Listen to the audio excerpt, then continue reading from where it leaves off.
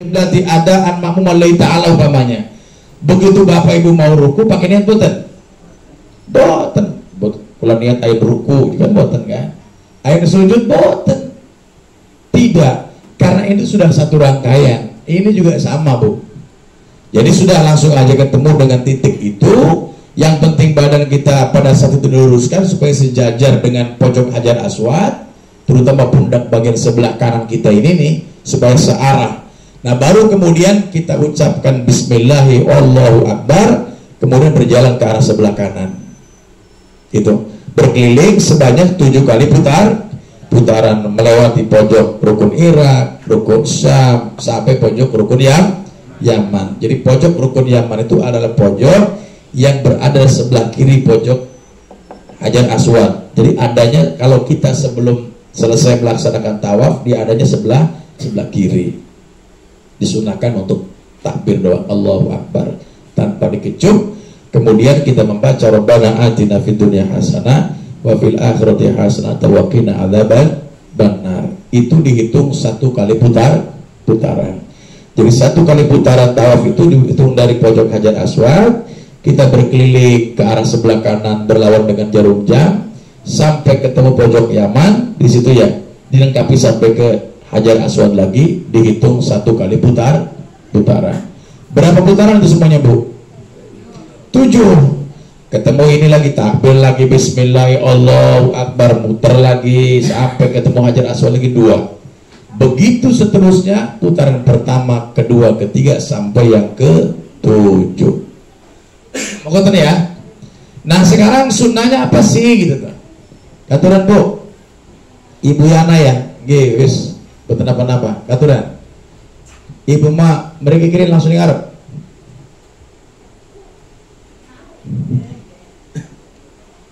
Mbene ketekang berali. Sebutan apa-apa mereka. Ya. Ini sambil, pokoknya vaksin kiri. Dodok dikit, masih masih segan deh. Minum dikit. Ya tinggal dua itu yang belum vaksin. Selesai. Baik Bapak Ibu sekalian, jadi berarti dimulai dari mana? Dimulai dari sini. Ya, ke arah sebelah sana. Tujuh kali putaran. Ya, ya. Hari bacaan primen, bacaan membuk, tidak ada bacaan khusus sebenarnya yang harus dan menjadikan tawaf kita tidak sah kalau tidak dibaca. Nggak ada dalam bacaan tawaf. Silakan Arab maca Yasin boleh. Ya kan? Mau baca Al-Quran aja sekitar itu nggak apa-apa. Mau baca salawat Nabi aja juga nggak apa-apa. Mau diem aja juga nggak apa-apa. Yang kelewatan be hari menang bayang kan. Ya nggak apa-apa sebenarnya mak. Jadi tetek ulane. Ya Bismillahirrahmanirrahim. Tanpa doa muter. Ya. atau mamanya hafalnya cuma Robbana atina fid dunya hasanah. Muter-muter nggak apa-apa muter mana bismillahirrahmanirrahim. Akbar rabbana atina fid dunya hasanah. Muter mana Allah akbar rabbana atina fid dunya hasanah. Sampai putaran tujuh. Begitu putaran tujuh bismillahirrahmanirrahim. Akbar rabbana atina. Jadi malaikat kita paling robbana baca begini. Waduh disebutnya umroh atau haji haji mang robbana. Apa itu doa jadi ibu bapak sekalian berarti tujuh kali putaran itu dengan sifat yang sama. Jadikan Ka'bah selalu sebelah kiri kita Pak. Tidak boleh orang lagi kita muter-muter. Ya posisi badannya. Harus fokus Ka'bah harus sebelah sebelah kiri kita. Dari mulai putaran satu, satu sampai putaran ketujuh semua itu. Dan tidak boleh ragu harus yakin. Jumlahnya harus tujuh. Kalau ada yang ragu, umpamanya antara tiga dengan empat, maka yang kita ambil adalah bilangan yang terkecil, Pak. Sama dengan sholat. Berarti yang kita ambil, kalau ragunya antara tiga dan empat, yang kita ambil tiga, itu ya. Nah, insya Allah Bapak Ibu sekalian jangan terlalu bingung. Kami insya Allah di sana membiasakan menyiapkan pakai alat bantu pendengaran di sini, Pak.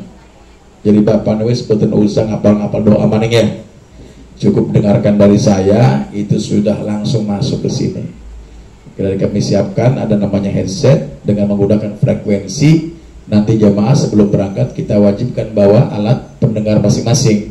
Nanti kita setel aja itu dengan apa namanya di hand, handphone masing-masing pak. Pakai frekuensi FM insya Allah itu nanti lebih mudah. Jadi komandonya tidak apa namanya tidak terlalu bising dengan suasana lingkungan. Cukup saya membaca doa terdengar oleh jemaah semuanya mau mengikuti bacaan kita silakan. Mau doa masing-masing tidak apa-apa. Gitu ya paden ya. Yang paling penting tata caranya ini bener nih.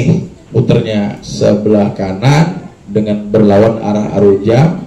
Ka'bah selalu berada di sebelah kiri kita sampai tujuh kali putaran. Cuman yang disunahkan itu bacaannya adalah ketika kita melewati rukun Yaman sampai ke Hajar Aswad. Disunahkan membaca doa sabu jagat Rabbana atina fid dunya hasanah wa fil akhirati hasanah wa qina adzaban adzaban nar. Sampun pada apal sekabe gema. Kita eh? Doa paling mustajab. Ning anu ngorengin burungnya uh kalau kiai ini sama doa Rabbana atina fid dunya hasanah itu Pak.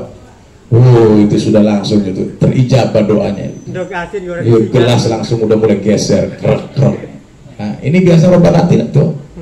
Doanya itu. Kalau sudah robbana atina fid dunya hasan piring keluar. Nah, ya ini juga sama karena sudah robbana atina fid dunya doanya udah nih. Dipercepat bapak ya.